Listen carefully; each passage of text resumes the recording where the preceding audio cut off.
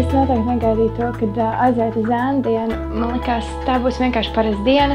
Parunāšu ar cilvēkiem, neko īpaši jaunu neuzzināšu. Bet īstenībā bija tā, ka es sapratu īsti to, ko dara tas, kā, kas ir tie pienākumi, kā vispār viņi strādā, tie cilvēki, jo es ēnoju risku parakstītāju.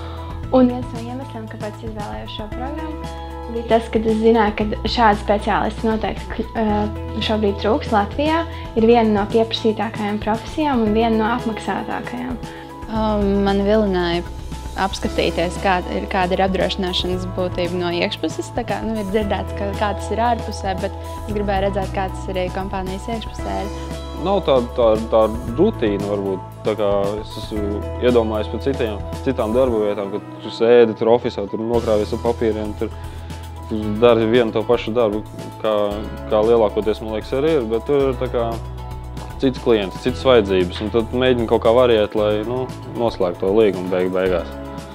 Es teiktu, interesanti un labs, labi atalgots darbs vismaz. Nu, tas ir mans, ko es, es skatītos. Bet, lai ieteiktu citiem, es, protams, neieteiktu, jo tas man konkurences rada.